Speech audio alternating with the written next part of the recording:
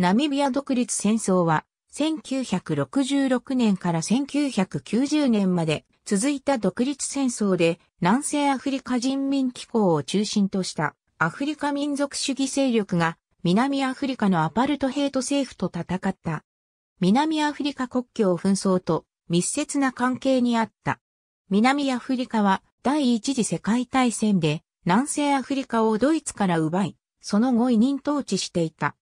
1966年、国際連盟の後継組織である国際連合総会は南アフリカによる南西アフリカの統治を廃止し、国連直轄統治地域とした。南アフリカはこの決定を拒否し、事実上の支配を続けた。1966年8月26日、南西アフリカ人民機構ゲリラ軍は、オムグルクオンバシェの南アフリカ防衛軍を攻撃した。これがナミビアの独立に向けての最初の戦闘だった。8月26日はナミビアの祝日になっている。国連は同日をナミビアの日としているが、ナミビア人は英雄の日と呼んでいる。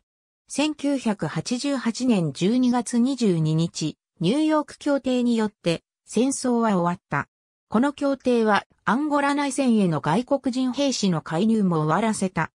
ナミビアは1990年3月21日に独立し、続く選挙で南西アフリカ人民機構が国会の72議席中55議席を獲得し、国民政府を作った。ありがとうございます。